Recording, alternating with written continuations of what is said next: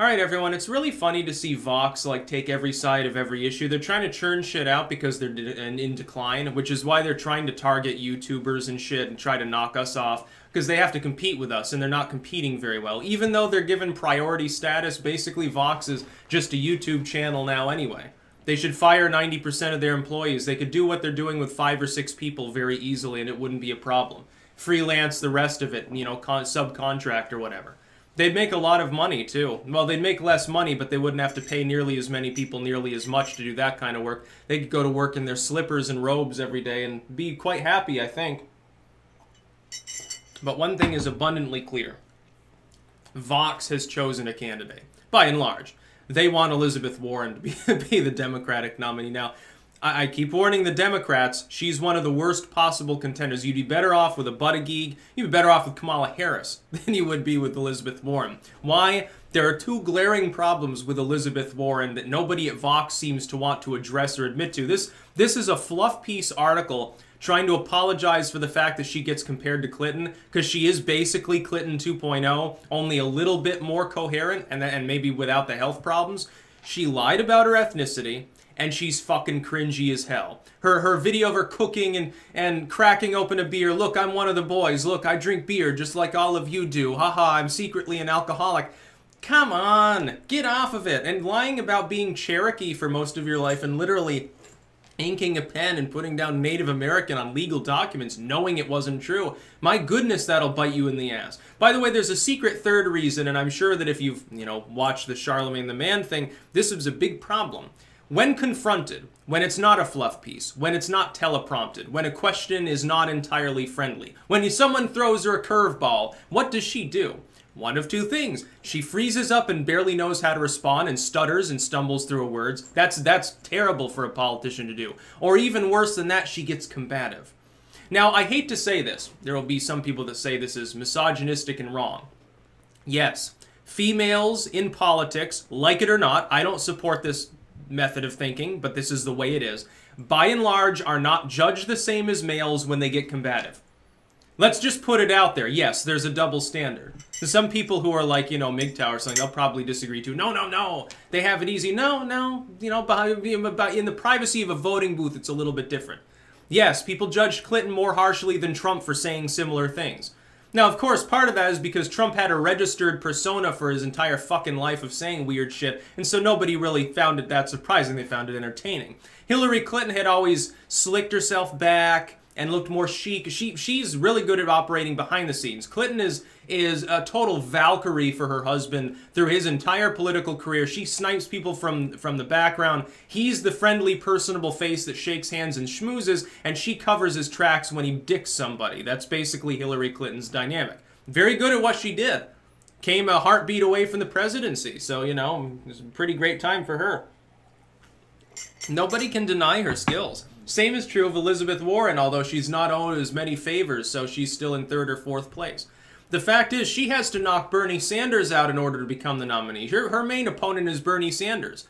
Whereas Joe Biden, who's his main opponent? Buttigieg.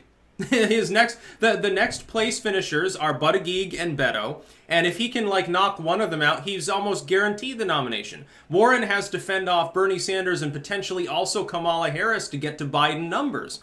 It's not going to happen, dude. If it did, I would I would enjoy it. It'd certainly be Trump 2020. I would make a prediction the next day. Yes, unless he dies on stage or or gets removed from office, yes, Trump will be reelected. Because I mean, Elizabeth Warren also has additional baggage. For most of her career, she was just a neoliberal. Long track record of being a standard Democrat. In the last few years, and I, I mentioned this I think four years ago if I remember correctly, she has steadily tried to rebrand herself as a progressive but she was never a progressive. She was a standard, you know, tough on crime style. Guns are bad, taxes are good, neoliberal. You know, basically social democracy light, as Bernie Sanders would probably chastisingly call it. She's she's no maverick. She's not some young upstart Alexandria Ocasio Cortez style candidate. I mean, I'm sure she would appease the further left if she were nominated, because she'd take up some of their issues. She's talked well about the new Green Deal, which is hilarious and also potentially baggage as well.